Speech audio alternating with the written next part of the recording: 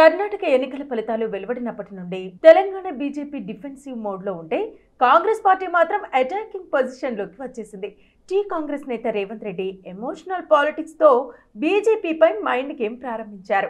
ఈ ట్రాప్లో బీజేపీ చాలా సులువుగా పడిపోయిందని తాజా పరిణామాలు నిరూపిస్తున్నాయని రాజకీయ వర్గాలు అంచనా వేస్తున్నాయి. కర్ణాటకలో కాంగ్రెస్ పార్టీ గెలవగానే వెంటనే రేవంత్ రెడ్డి తెలంగాణలో ఆపరేషన్ ప్రారంభించారు. ముఖ్యంగా బీజేపీని టార్గెట్ చేశారు.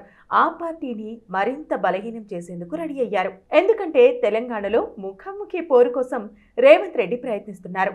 ముక్కోణపు పోటీ జరిగితే పూర్తి స్థాయిలో బీఆర్ఎస్కు అడ్వాంటేజ్ ఉంటుంది. ఆ విషయం రేవంత్ రెడ్డికి క్లారిటీ ఉంది. అలా అని బీఆర్ఎస్ పార్టీని బలహీనం చేసేంత శక్తి రేవంత్ రెడ్డి దగ్గర లేదు. కానీ బీజేపీని చేయగలరు. బీజేపీ కేంద్రంలో అధికారంలో ఉన్నప్పటికీ ఆ పార్టీకి కొన్ని బయటకు చెప్పుకోలేని బలహీనతలు ఉన్నాయి.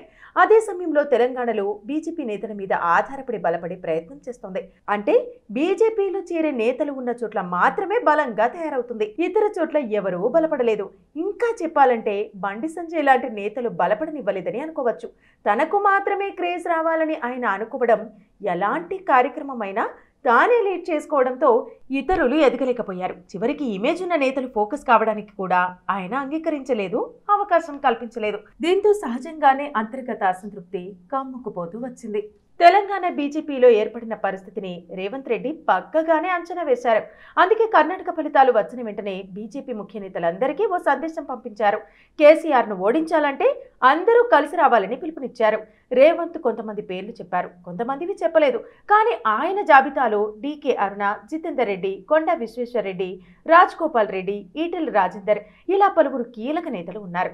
వీరంతా గత నాలుగైదేళ్ళ కాలంలో బీజేపీలో చేరిన వారే. నిఖార్సైన బీజేపీ నేతల్లో మాస్ లీడర్లు తక్కువగా ఉన్నారు. కానీ బీజేపీలో చేరిన ఇతర మాస్ లీడర్లను వారు ఎదగనీయలేదు. ఇక్కడే అస్సలు సమస్య వచ్చింది. అయితే ఇంతకాలం కాంగ్రెస్ ప్రత్యామ్నాయం అవుతుందని వీరెవరికీ నమ్మకం లేదు.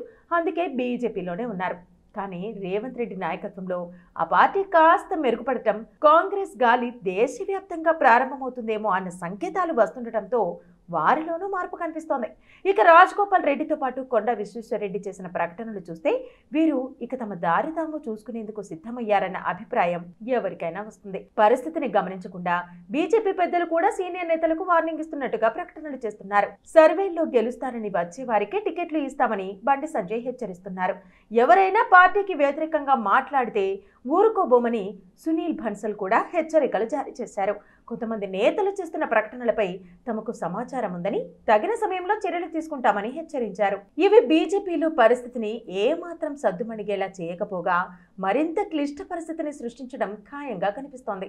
ఎందుకంటే వలస వచ్చిన నేతలంతా పోలోం అంటూ కాంగ్రెస్లోకి వెళ్ళిపోతే బీజేపీ మైనస్లోకి వెళ్ళిపోతుంది.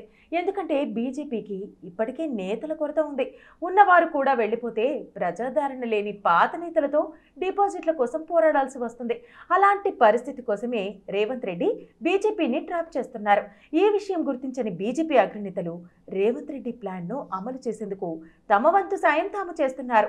మొత్తానికి రేవంత్ రెడ్డి ట్రాప్లో బీజేపీ ఉక్కిరిబిక్కిరి అవుతుందని రాజకీయ నిపుణులు అంటున్నారు. మరి ఇప్పటికైనా ఈ విషయాన్ని బీజేపీ గ్రహించిందా లేదా? ఒకవేళ గ్రహించినా సర్దుకోవడానికి దారిది? అనేది కూడా ప్రశ్నే.